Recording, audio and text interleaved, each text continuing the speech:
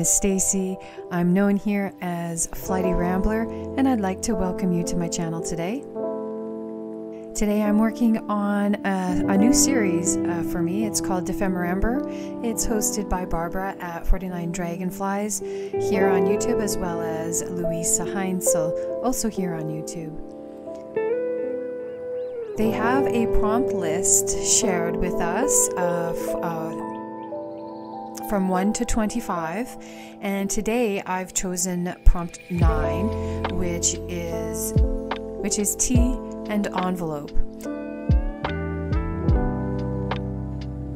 So I decided to use this passport photo envelope. Um, I had a spare one, and so I decided I would use that because it was small enough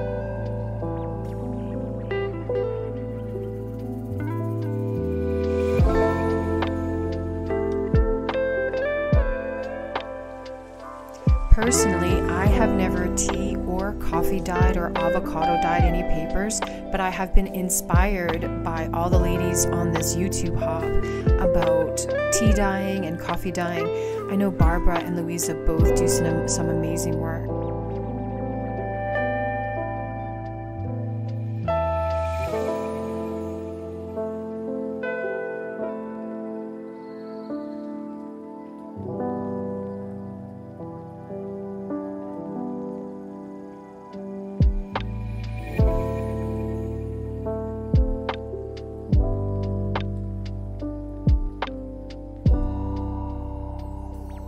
It took a few layers to get uh, some color built up using tea and then and then uh, drying it with my heat tool. And I don't know if using the heat tool um, was good or if I should have let them dry more naturally. But under time constraints, I used my heat tool this time. Although I am contemplating a coffee and tea dyeing kind of session happening soon.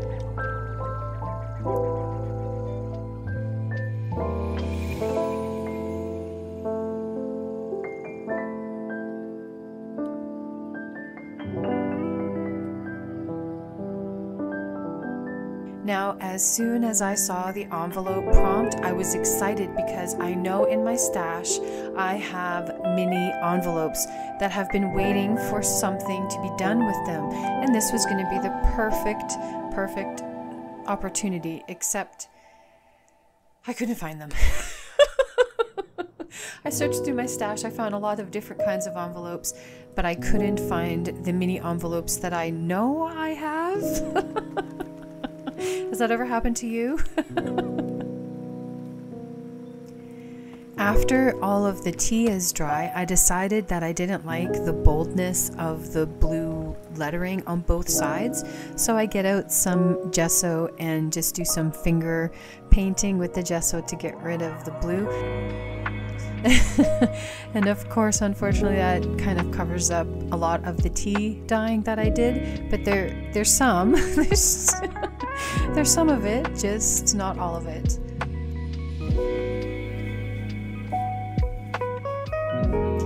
Next, I'm going to take the paper from the tea bag, so that's the tea bag there, and I'm going to collage it down onto the front and back.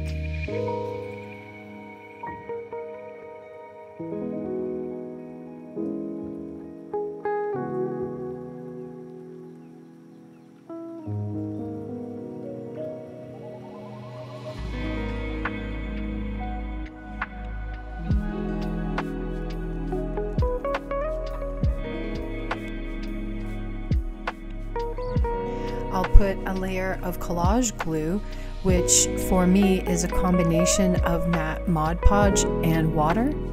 And I'll use a paintbrush and just collage some of the layers down, overlapping them because I really like how it builds up the color.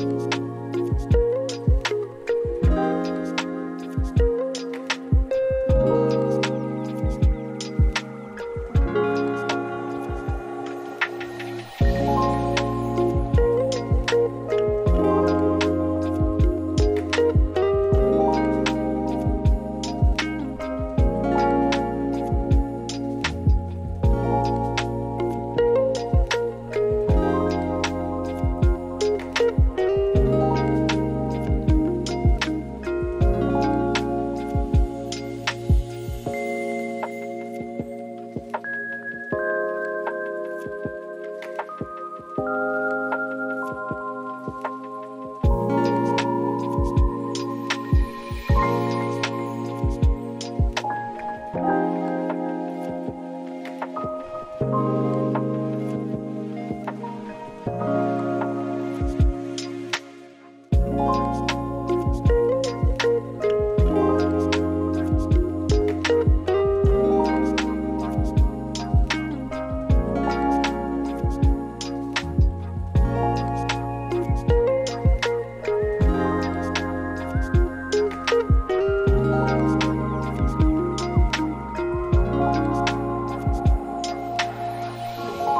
took me a long time to decide what to do after I was done with the tea bags.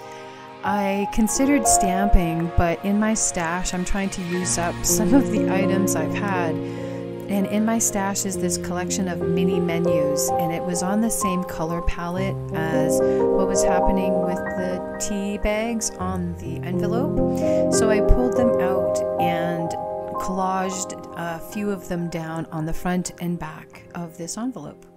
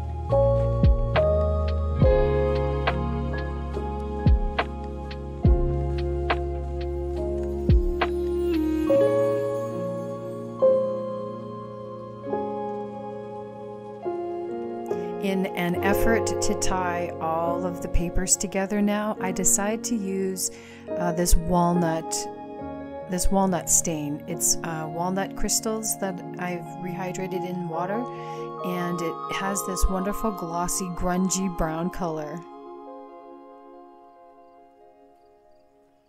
So I'll dry the walnut stain, and while, I, while it's drying, I'll add more to create the darker tones.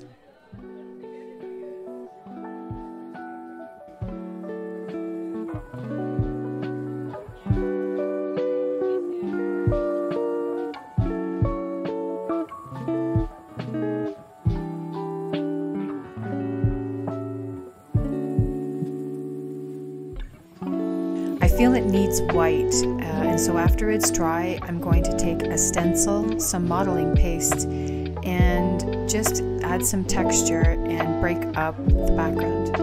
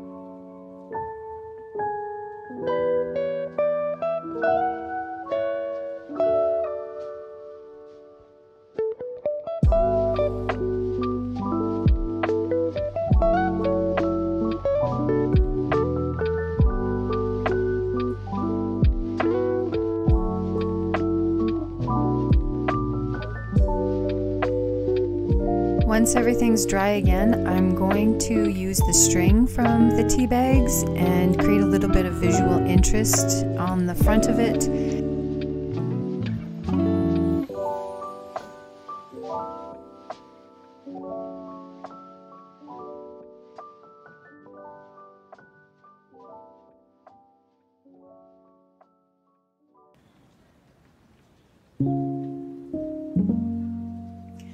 I'm going to look through Tim Holtz's tiny words until I see something that jumps out at me and it's uh, come what may.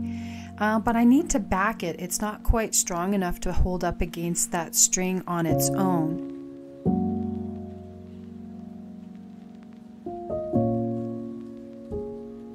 So I'll take the two tea bag little papers and I'll use those to back the phrase and then I'll trim around it and glue it down with Aleene's tacky glue onto that little bundle of string.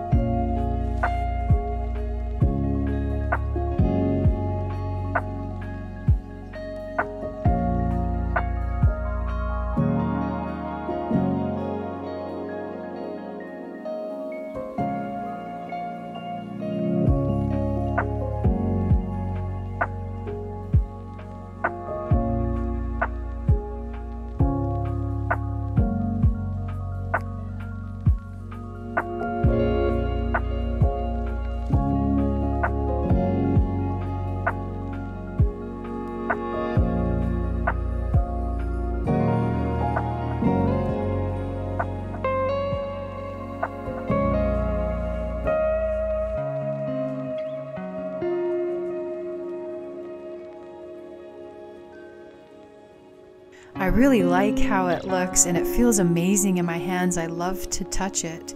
I'm going to add some fluorescent red splatters because on the menu, on the background on one of the menus has a bit of red.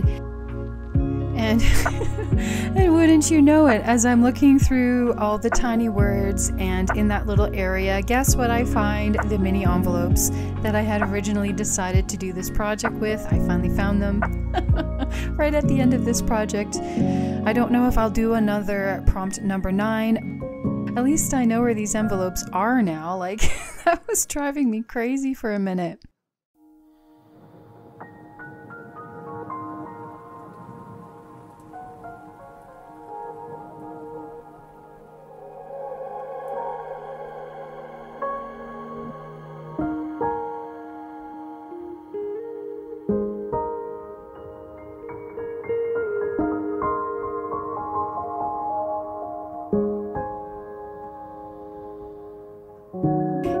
So that's it for this project. I'd like to thank you for watching this video. Please give it a thumbs up and a like.